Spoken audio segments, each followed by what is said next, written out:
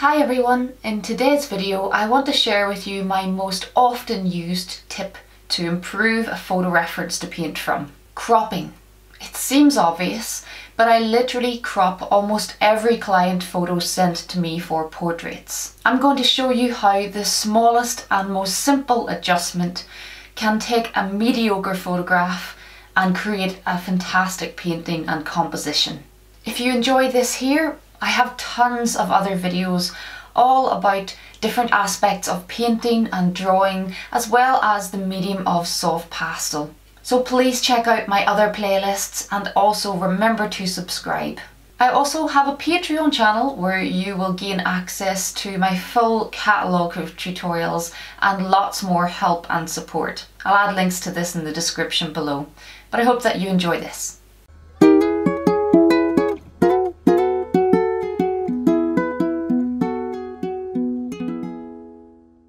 All artists should acknowledge the importance of good composition. But if you work from photography, then sometimes you're limited by the photographer. This is why I love to take my own photos to work from because it means that I'm in control of the composition from the start. However, I also love to take on commissions and it's not always possible to meet my clients when they're dotted all over the globe. I'll often work with my client and guide them in taking a better photograph for me to work from, but it's not always even possible to do that. If a client just can't produce a high enough quality of photograph for me to work from, then I won't take on the job. But a lot of the time I'm able to see some potential in photographs that don't initially look like they would make a great painting. And the first thing that I nearly always play around with is cropping.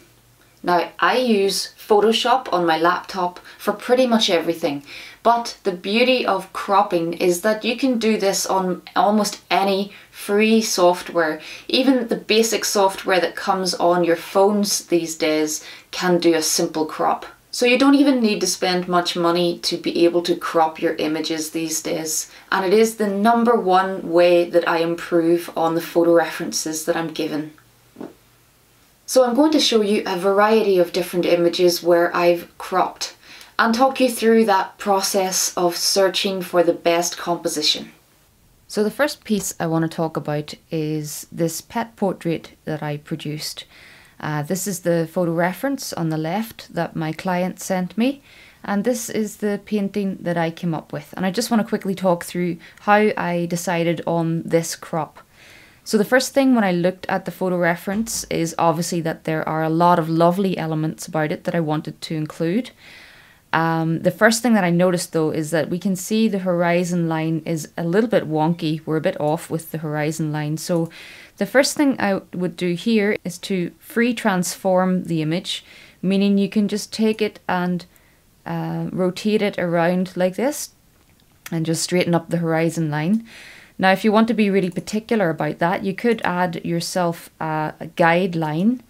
Um, as long as it's horizontal at all, doesn't really matter how far down it comes, but then you can drag this guideline somewhere that's going to help you and then once you go to free transform, you can use that guideline just to make sure that you get it nice and horizontal. Then you can just drag that line out of the equation. So that was the first thing that I did, just to straighten up the horizon line. Then I really wanted to include a little bit of this top um, part of the photo because I loved all of this greenery hanging down. And I also wanted to include the the lovely water ripple that he's standing in and all of those lovely reflections in front of him. So that to me made the piece need to be uh, a tall shape so portrait shaped rather than the very wide landscape shape that the photograph is. Because to me all of this down the left and all of this down the right is pretty dead space and I wanted to bring our focus more onto the dog. So to play around with the crop uh, tool, which you'll find over here to the left on Photoshop.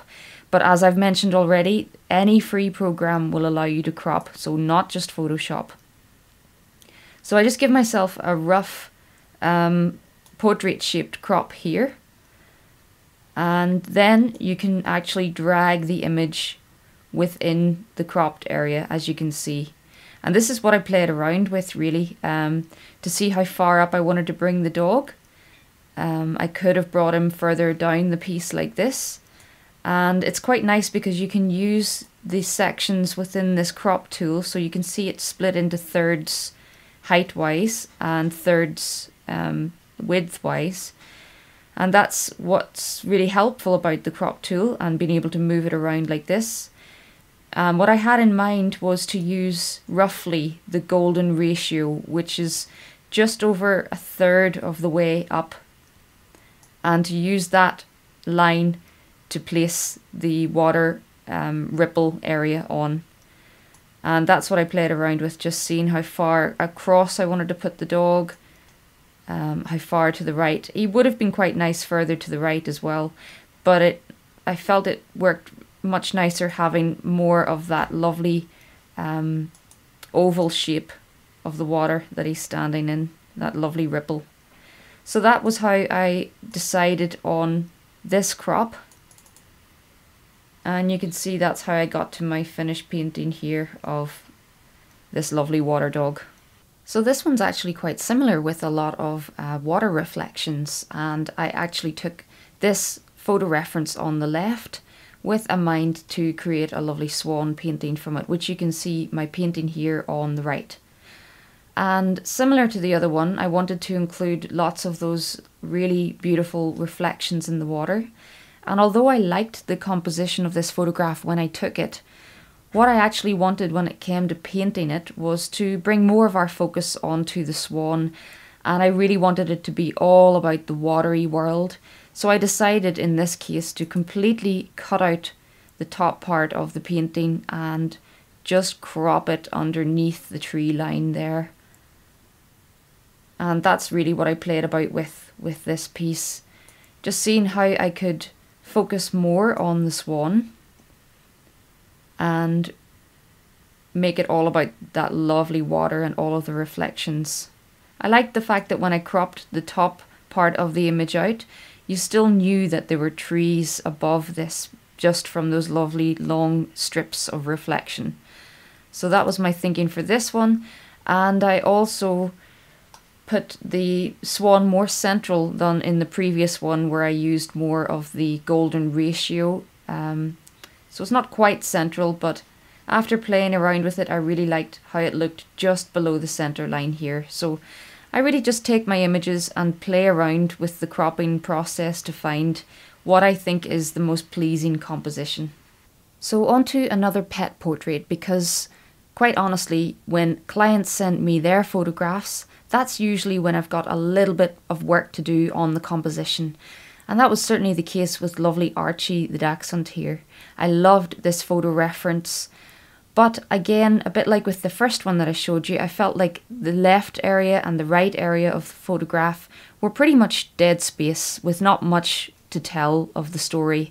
And I wanted to bring more of our attention into Archie.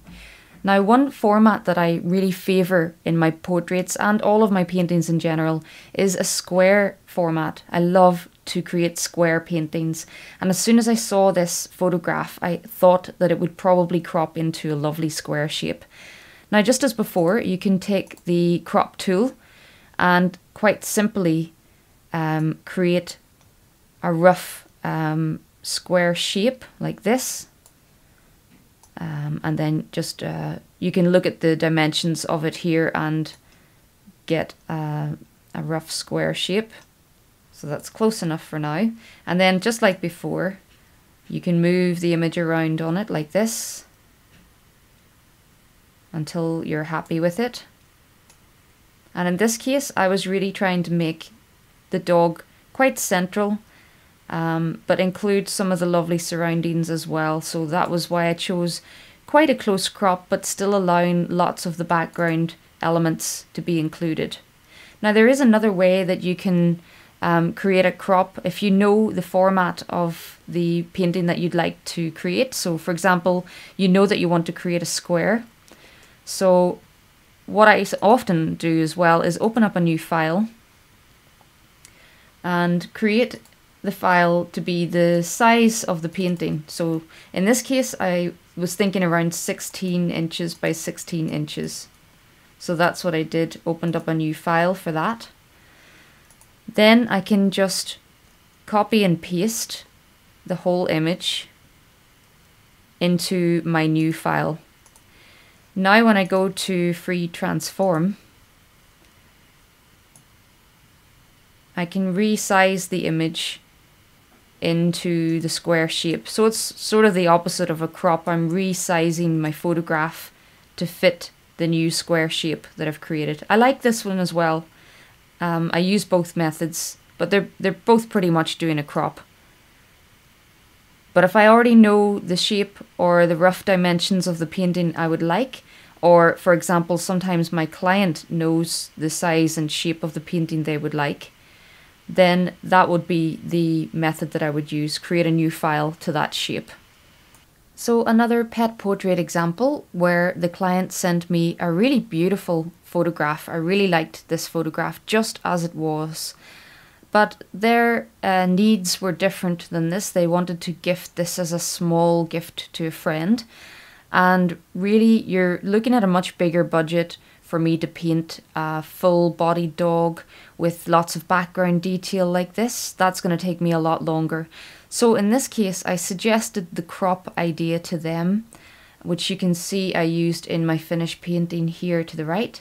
And I really love this one cropped actually because as good as the full image is, it really does add some drama I felt to the piece just to do a close crop of the face like this. So I really liked how this one turned out, even though the original photo actually was lovely just the way it was. I really liked the drama of just bringing us closer to the dog's face and framing it with those dramatic grey clouds behind. So sometimes it's not even because the image itself needs to be cropped to become a better painting, but sometimes you can help a client out by working to their budget and create a smaller, more intimate piece. Now, here is the opposite problem because sometimes clients send me photographs which aren't the greatest quality. This client was looking a portrait of just the Weimaraner and they sent me a selection of photos. And if you've ever had to paint a Weimaraner before, you'll know that it's very difficult to capture their colour, and daylight is usually best for that. And all of the other shots were very dark indoors this one was the only one really with any good daylight in it, but you can see it on its own does not make the best photograph. But when I started to play around with the cropping, and again I thought of this lovely square format that you can see in my painting here, and that's what I decided to try and do to find a nice crop that would include just the face on its own. Because when I also zoomed in on the photo reference, it really wasn't that clear. You're losing quite a lot of detail in the photo reference as well. So I thought a smaller piece, a smaller crop, where I can bring out a bit of detail in the dog and also make use of the lovely colours in the background. So that was my idea to um, improve upon uh, a mediocre photograph with a lot of other things going on in the foreground and again just focusing on the beautiful dog. So just lastly, I wanted to share this piece with you. Uh, you can see an older photo reference on the left here.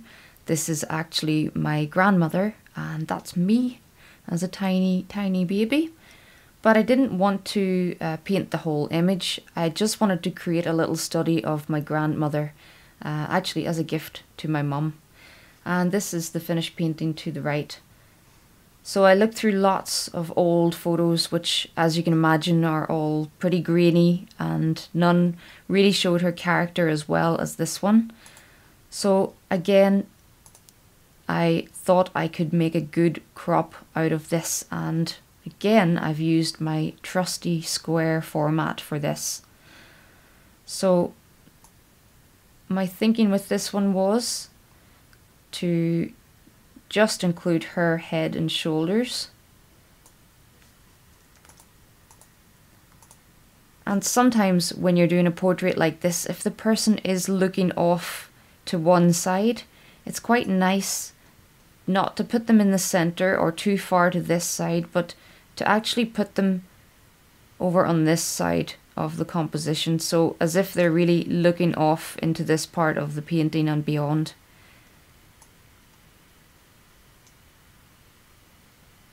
So again, it's useful having this crop tool split everything into thirds for you and you can just think about where to place that. In my other video here on YouTube, um, all about composition basics, this is where I go into more detail about uh, using the golden ratio, dividing your image into thirds. There are lots of ways that you can do this. In this video, I just wanted to give you some basic ideas on how to use the crop tool, which if you're using Photoshop, you'll find over here to the left in your tools. And then for this particular piece, I decided to remove the background include my grandmother's favourite colour, and she was very fond of lively patterns, so that's how I came up with the rest of that painting. But I hope you can see from all this just how vital that very simple crop tool is within all of my work. I hope that these examples give you some ideas on how you can use cropping to improve either yours or your clients' photographs. A simple crop can make a huge difference. I have another video here on my YouTube channel all about composition basics which covers way more than just cropping alone as composition really is one of those key elements that can make or break your painting. You'll find the link to that video at the very end of this one. And if you've enjoyed this here, then please do subscribe. Or for even more tuition and support, check me out over on Patreon. This library on my website allows you to browse everything I have available and it also lets my patrons locate what they're looking for. I hope I can help you more either here on YouTube or over on Patreon. Thanks very much for watching and until next time, happy pastelling.